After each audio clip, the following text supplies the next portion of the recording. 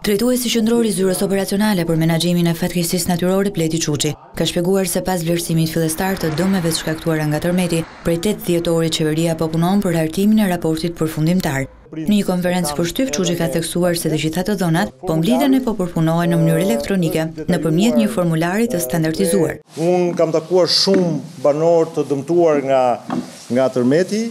dhe e kuptoj padurimin e tyre për të vepruar sa më shpejt, por ju bëj thirrje që të kemi pak durim dhe ju garantoj që procesi që kemi filluar është sipas gjithë praktikave ndërkombëtare filluar në kohën më të shkurtër që kanë praktikat ndërkombëtare. Sistemi elektronik i mbledhjes së të dhënave do të shërbejë dhe si bazë për ndihmën që partnerët ndërkombëtarë do t'i ofrojnë Shqipërisë. Ky operacion ka filluar në të tre qarqet dhe është, besoj, një sistem i cili do prodhojë, pra është inputi kryesor i një sistemi që do prodhojë dokumentin më të rëndësishëm pas tërmetit që do ketë shteti shqiptar dhe Ky raport do të jetë dokumenti kryesor siç ju thashë pastaj për konferencën e donatorëve. Konferenca e donatorëve do të zhvillohet në Tiranë e vjen pas ndihmës së parë që Brukseli dha për Shqipërinë në vlerën e pesëmbëdhjetë milionë eurove.